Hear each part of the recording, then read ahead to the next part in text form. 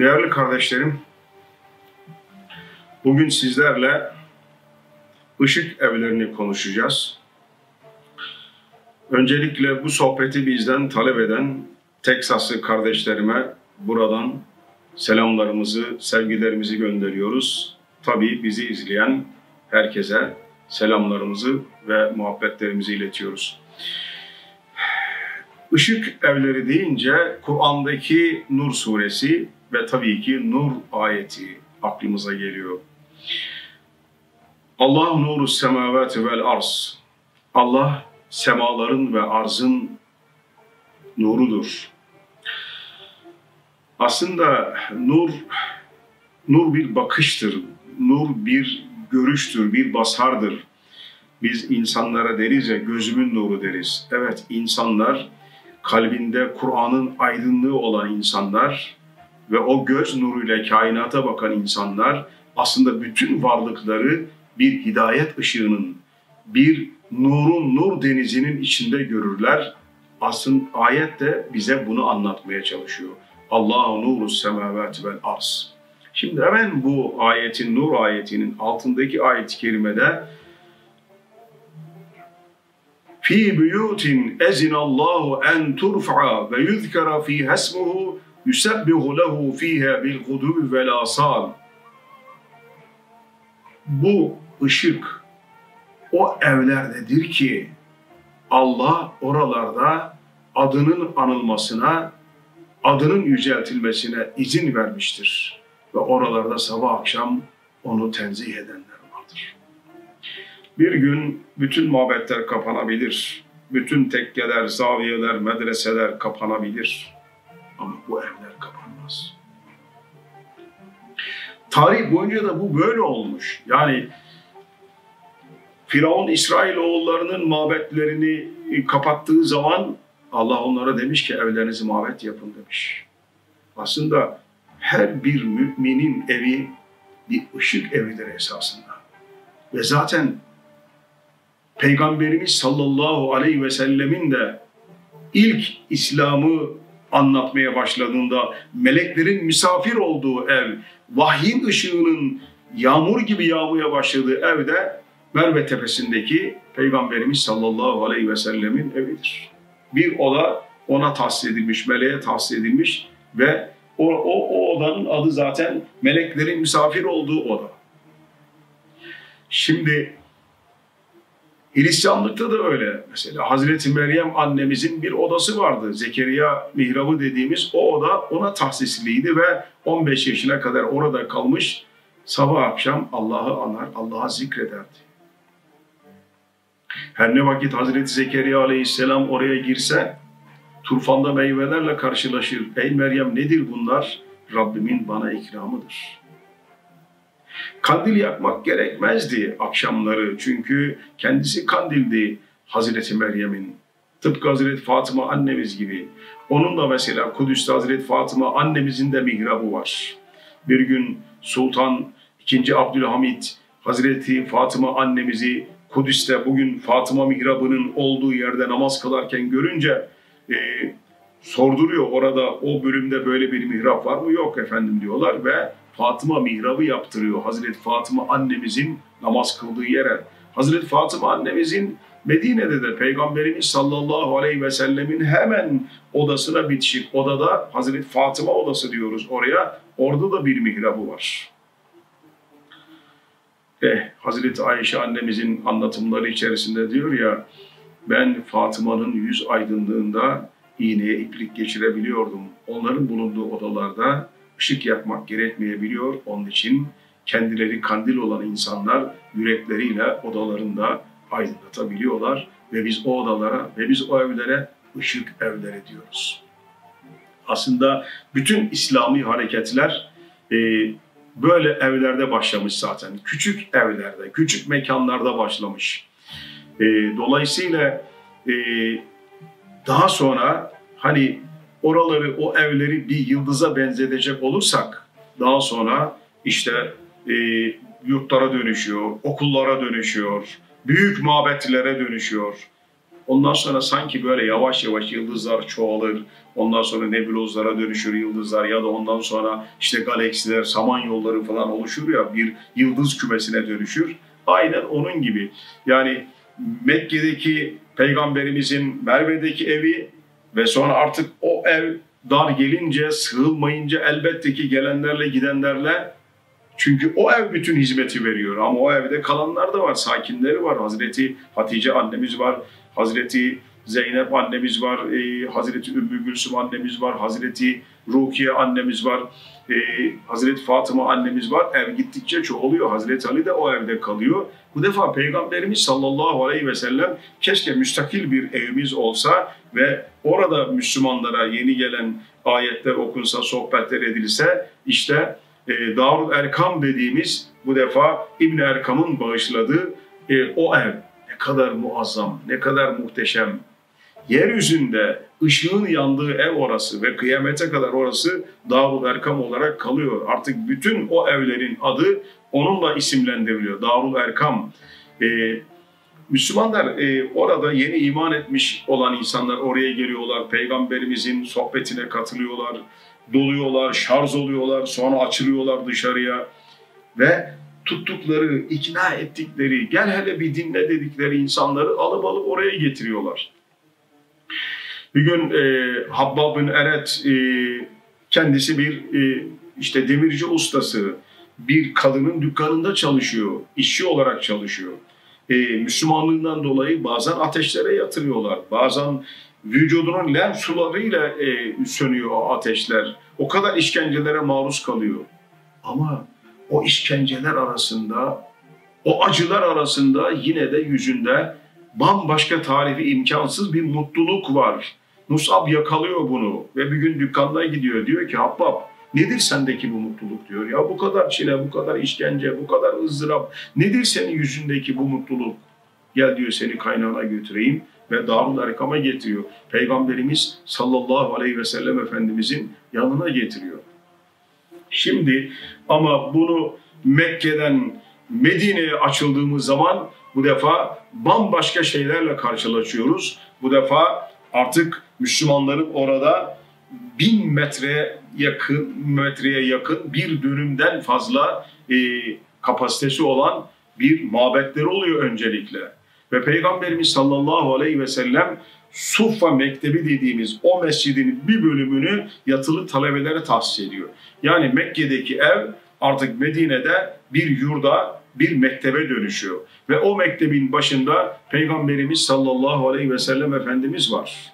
Ve o mektebin talebeleri var. Abdullah bin Ömer gibi, Ebu Hureyreler gibi, Ebu Zer Gıfariler gibi, Abdullah bin Mesudlar gibi, Bilal-ı Habeşiler gibi, Selman-ı Farisiler gibi, Ammar bin Yasirler gibi, Abdullah bin Mektumlar gibi, Hubeyb bin Adiler, Zeyd bin Desineler, Asım bin Sabitler gibi insanlar artık o mektebin talebeleri. Ve bu talebeler zaman içerisinde peygamber mektebinden mezun olan bu talebeler diğer şehirlere açılıyorlar, kabilelere gidiyorlar. Oralarda e, mekanlarını kuruyorlar, otağlarını kuruyorlar. Bunlardan birisi çok iyi biliyorsunuz. Abdullah bin Mesud Mekke'de bir e, çobanmış.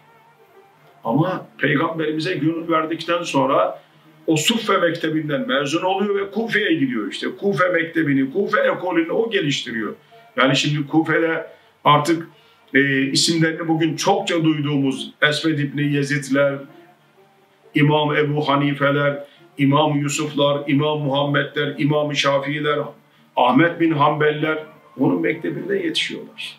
Kufe ekolünde yetişiyorlar.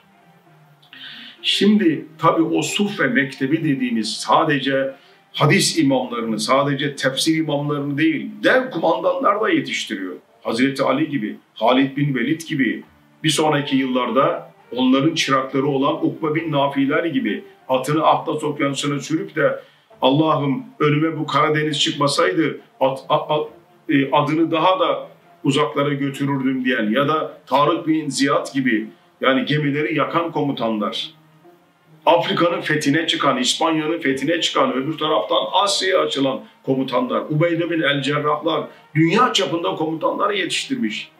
Yani edebiyatçılar yetiştirmiş, tasavvuf erbabı yetiştirmiş. Başta Hazreti Ali olmak üzere. Zeynül Abidinler, Caferi Sadıklar, Muhammed Bakırlar, Abdülkadir Geylenler, sonraki yıllarda Şahin Akşibendiler hep oradan gelmiş. O pınarın başından gelmiş.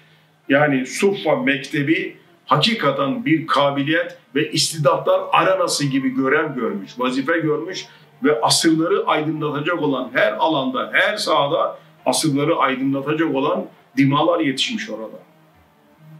Dolayısıyla ışık evler dediğimiz belki Hanifi buyutun derken e, meçhul evlerden bahsediyor ama zamanla o meçhul evler maluma dönüşüyor. Yurtlara, okullara dönüşüyor ve bu defa birken binler oluyor ve çoğalıyorlar. Aslında bu. Tarih her döneminde böyle olmuş. Yani Hristiyanlar da e, sonuçta havariler e, ya şehrin içindeki evlerde ya da dağ başlarında, mağaralarda oraları ışık evleri gibi kullanmışlar. Ve oralarda şarj olmuşlar. Oralarda Allah'ı almışlar, Allah'ı zikretmişler ve sonra o dolulukla şehre inmişler. İşte Yasin suresinde anlatılan e, Habibün Neccar'ın iman edin bu insanlara, tabi olun bunlara, sizden bir şey istemiyor bu insanlar dediği insanlar bu insanlar işte. Şimdi tarih boyunca bu böyle. İmam-ı Rabbaniler de böyle, İmam-ı Gazaliler de böyle. Hep evlerde başlamış bu hizmetleri. Sonra dalga dalga büyümüş, talebeler artmış. Ama günümüze geldiğinde bu defa Üstad Bediüzzaman Hazretleri de işte yine hizmetlerini bu, bu evlerde yapmış. Oralarda başlamış. E tabii ki e, söz üstadımıza e, gelince üstadımız e, doğru dürüst ev bulabilmiş mi o da ayrı bir şey tabii de. Ben 13. asrın minaresinden sesleniyorum diyor ya 13. asrın minaresinden sesleniyorum diyor. Şimdi 13. asrın minaresi ne demek? Minarenin şerefesinden seslenmek nasıl? Bir minaresi yok ki, bir camisi yok ki. Üstadımız, üstadımız e, bazen e, Barla dağlarını, katran ağacını, e, bazen e, çeşmenin hemen yanı başındaki çınar ağacını, o ağaçların dalları arasındaki tahta kulübeleri, gökyüzü mabetlerini, gökyüzü kulübelerini, gökyüzü mescitlerini bir cami şerefesi gibi İslam'ı ilan etmek için, İslam'ı anlatmak için oralarda Allah'ı anlatmış, oralarda Allah'ı zikretmiş, oralarda doymuş, oralarda dolmuş ve o insanlara, o insanlara yeni dirilişin, yeni dirilişin bestelerini göstermiş o insanlara. Daha ilk gittiğinde yani Barla'ya ilk gittiğinde e, muhacir Hafız Ahmet'in evinde kalıyor. O gece o evde kalırken bir odada kalırken bile onun o ya Allah ya Allah dedikçe duvarlar sarsılıyor. Bir ışık parıltısı görülüyor. Muhacir Hafız Ahmet diyor ki vallahi hanım evimize bir devlet kuşu kondu diyor.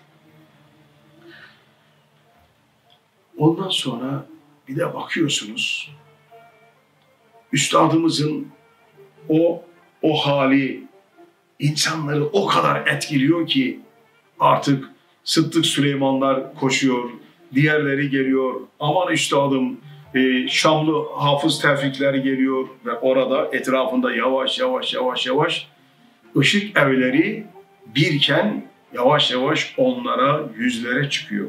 Öyle bir yere geliyor ki artık Barla'nın, Bedre'nin, İslam köyü neredeyse bütün evler ışık evlerine dönüşüyor. Çünkü oralarda Risale-i Nurlar yazılmaya başlıyor. E sadece bunu e, erkekler de değil, kadınlar da yazıyorlar. Kadınlar da kandil tutuyorlar. Işıklar söndürülüyor. Odada değil, yüklük dediğimiz bölümlerde yazıyorlar.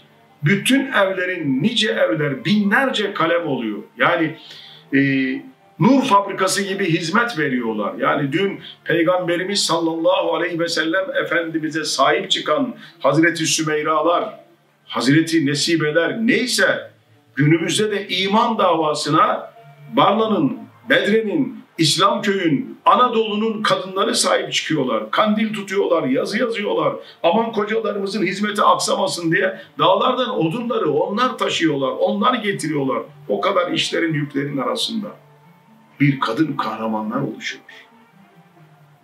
Üstadımız da zaten bu kadın kahramanları hiç ama hiç unutmuyor. Yani eğer bir gün esarete düşmüşse, Golga'nın hazin çıpıltıları yanında bir Tatar mescidinde ise orada mesela bir Tatar hanım üstadımıza çok bazen çorba getiriyor. Onu sarıyor, sarmalıyor, aman üşüme diyor, e, hoca efendi diyor falan. Üstadımız sonraki yıllarda Risaleler yazılırken ne diyor? Eğer bugün diyor iman davasına hizmet eden bu Risale-i Nurların cihan şumul hizmetinde o Tatar kadının da o Tatar hanımın da e, hissesi vardır diyor üstadımız. Şimdi neden ben 13. asrın minaresinin şerefesinden sesleniyorum diyor üstadımız? Üstadımızın o sadasını evrensel bir besteye dönüştürecek olan bir sonraki ses bu defa kaderin cilvesine bakar mısınız? Edirne'de Üç Şerefeli caminin bir penceresinde kalıyor. Orayı mini bir ışık evi haline getiriyor. Her şeyi orada. Yatağı orada, mutfağı orada, yiyeceği içeceği orada, her şeyi orada. Orada da bir kadın Hayriye annemiz zaman zaman Hoca Efendi'ye çorba getiriyor. Herkesi reddeden insanlar Tatar hanımı reddetmiyor, Hayriye hanımı reddetmiyorlar. Bir anne bulunuyor onlara, bir anne şefkatiyle onların hizmetini gören insanlar bulunuyor. Bu da çok ilginç bir şey. Ve o üç şerefeli cami hakikaten çok bereketli oluyor. İlk hizmetin nüveleri orada başlıyor. İlk talebeler orada başlıyor. İlk sohbetler orada başlıyor. Bakar mısınız? Kaderin bir cilvesi. Yani e, Edirne'deki bu üç şerefeli camiyi gerçekten Selçuklu mimarisinden Osmanlı'ya geçişin bir sembolüdür. Çok kubbeliden tek kubbeli mabet yapısına geçişin ve bizim mimari kültürümüzün Selimiyeleri doğuran, Sultanahmetleri doğuran bir e, sembol bir durumu vardır. Bir model bir durumu vardır e, Üç Şerefeli Camii'nin. Muhteşem bir şey. Kapısı cami kadar kıymetli bir şey ve merdivenden çıkarken üç şerefenin üçüne de ayrı ayrı merdivenlerden, üç ayrı merdivenden çıkılabiliyor.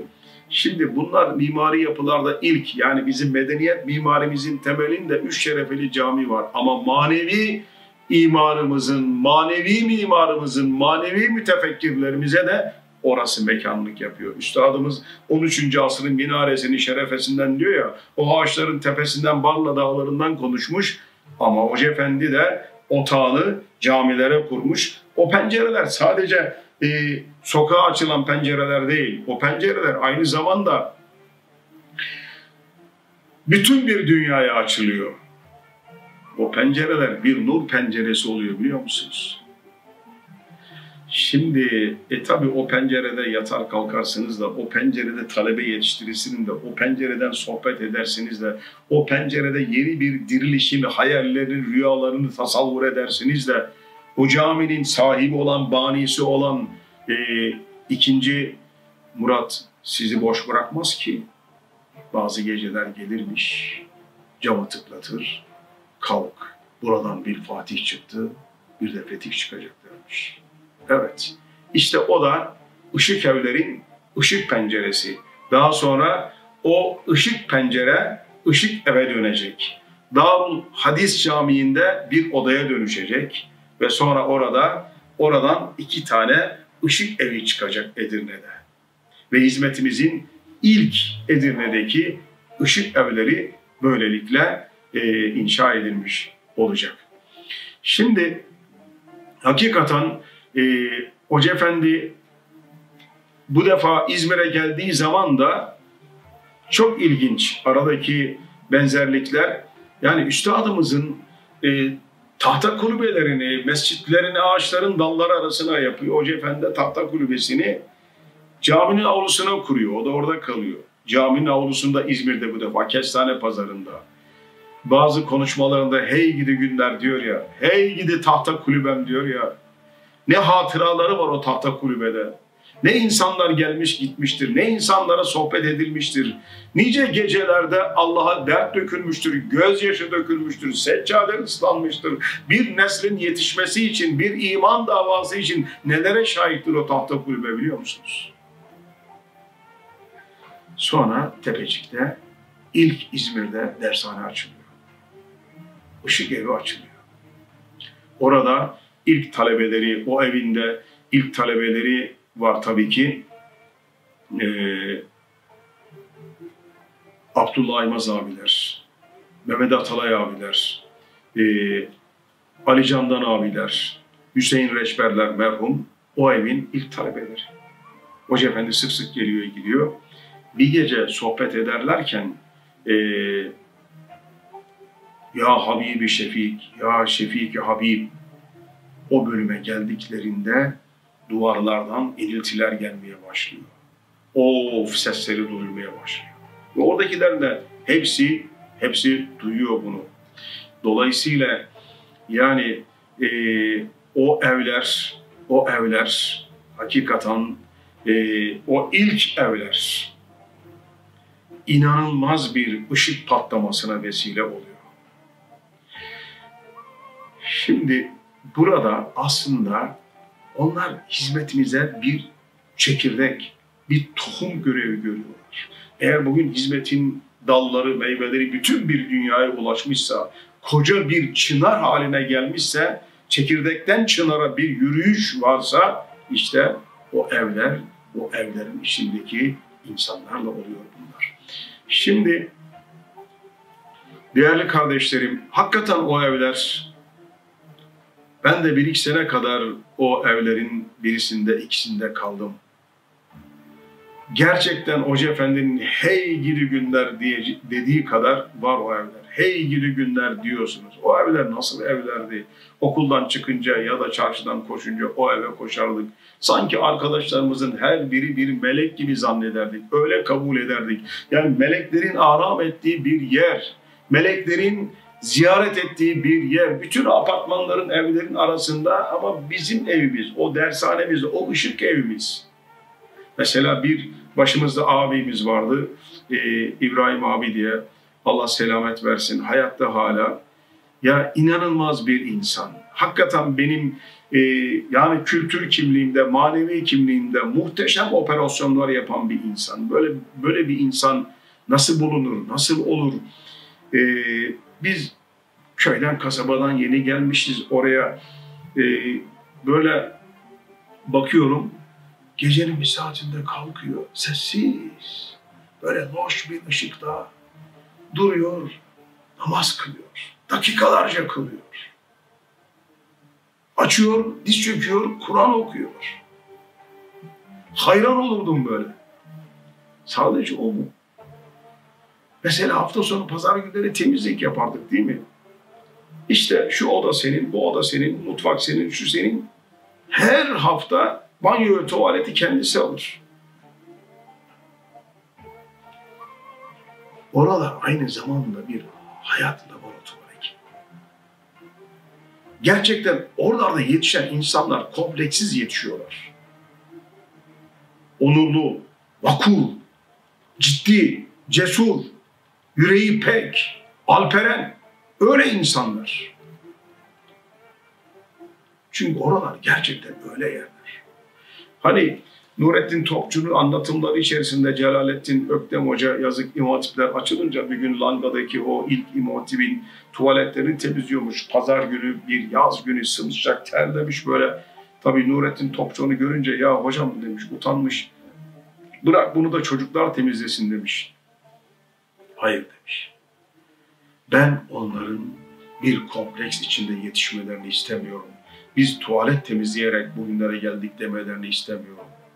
Onların yüreği pek, anlı ak olarak yetişmelerini istiyorum. Ezik yetişmelerini istemiyorum diyor. Hakikaten bu ışık evleri bize bize bunu gösterdi ve bizi gerçekten böyle yetiştirdi. Şimdi Fetih ruhlu insanlar burada yetişir. Fatih ruhlu insanlar burada yetişir. Buralarda yetişir. Artık eskisi gibi elde kılıç kalkan yok böyle bir şey. Ama dünyanın bir fete ihtiyacı var. Ama yürek fethine ihtiyacı var. Nasıl olacak peki o zaman? Bir elde akıl ve mantık olacak. Bir elde Kur'an olacak. Kalplerde de bir iman olacak. Dünyanın fethi böyle olur. Ve dünyayı fethedecek olan o küheylanlar işte o evlerden, o ışık evlerinden fırlayacak dünyaya. Oradan dolu dizgin koşacaklar bütün bir dünyaya. Ve öyle de olmuştur zaten.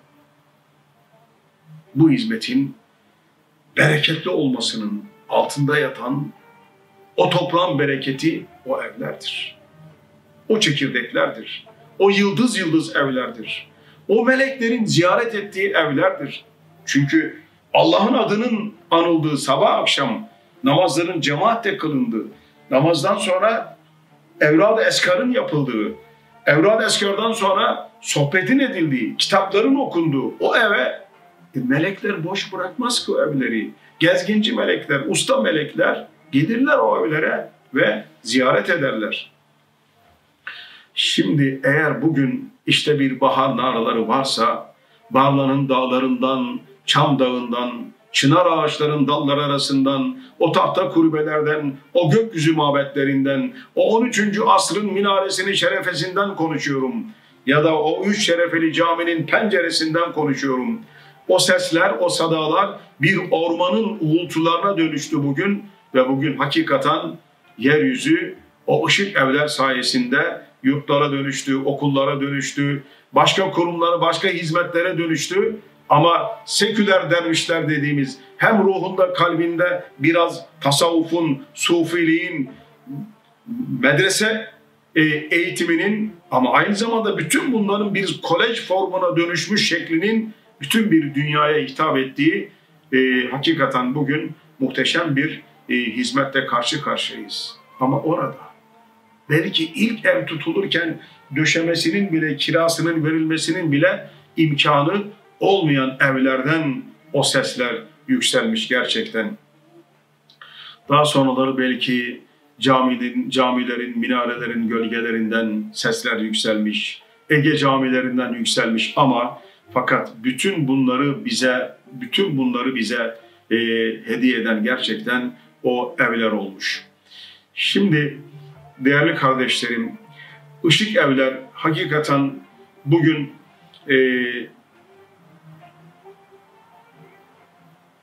bazı içimizde burukluklar yaşamıyor değiliz, gariplikler yaşamıyor değiliz ama Tuğba lil guraba diyor Peygamberimiz sallallahu aleyhi ve sellem. Müjdeler olsun gariplere diyor ya.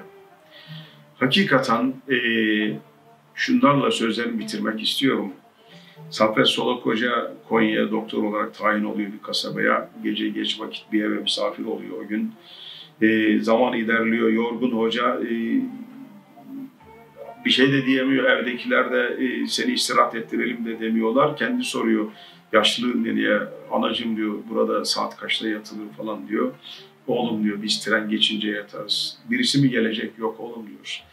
Senin dün geldiğin gibi diyor işte trenden birisi iner. E, yol bulamaz, gideceği yeri bilemez. Biz ışığımızı tren geçinceye kadar yak, yakarız. Öyle yanık durur. Tren geçtikten sonra söndürürüz ta ışığa gelsin. E, yollarını şaşıranlar ya da adres bulamayanlar diye diyor. Yıllar sonra onu bir yazıya döküyor ve diyor ki acaba diyor şimdi diyor e, o diyor e, hala Konya'nın bir kasabasında yanada ya da Anadolu'nun bir köyünde, şehrinde her neyse hala ışığı yanan evler var mı? Hala misafirin altına tertemiz yataklar seren, e, çarşaflar seren e, insanlar, o nur yüzlü insanlar hala duruyorlar mı? Yoksa o güzel insanlar güzel atlara binip gittiler mi diyor ya. Anadolu'nun güzel insanları hala Anadolu'da pek çok güzel insan var ama pek çok güzel insanlar da güzel atlarına binip dünyanın dört bir yanına gittiler. Ama onlar da dünyayı dünyayı aydınlatmak için oradalar. Gittiler Yasin öğretmenler gibi, gittiler Adem Tatlılar gibi, gittiler Hakan Ustalar gibi. O ışık evlerde yetişen kardeşlerimiz dünyanın dört bir dünya açırdılar. Dün Hazreti Sümeyralar gibi, dün Hazreti Nesibeler gibi, dün Ukbe bin Nafiler gibi, dün Tarık bin Ziyadlar gibi bugün de onlar açıldılar. Evet, bugünlerimize yarın baktığımız zaman hey gidi günler diyeceğiz biliyor musunuz? Cennette de en çok, en zevkli, en tatlı izlenen sahneler dünyada hizmet için, insanlar için, insanlık için koştuğumuz sahneler olacak. Onun içindir ki kardeşlerim koşmaya bakın. Dün ışık evlerden fışkıran dünyaya dağılan abileriniz gibi, kardeşleriniz gibi, ablalarınız gibi bugün de siz koşmanıza bakın. Hoca Efendi'nin hey gidi günlerini hiç unutamıyorum. Bazen Hoca Efendi ya, hey gidi günler diyor. Hey tahta kulübem diyor. Cami penceresinde kaldığım günler diyor.